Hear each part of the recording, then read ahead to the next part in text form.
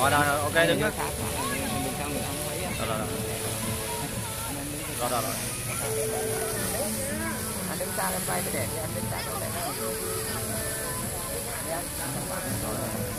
chuyên cách em em mới người ta được nó đứng đây dự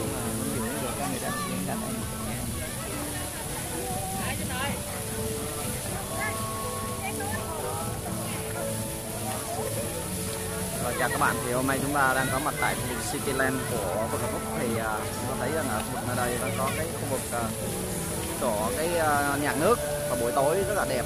À, và thông tin nhạc nước rất là đẹp. Đã được uh, khai trương ngày hôm nay đó ngày 15 tháng 8 đó khu vực của những cái biệt thự rất là đẹp. Rồi.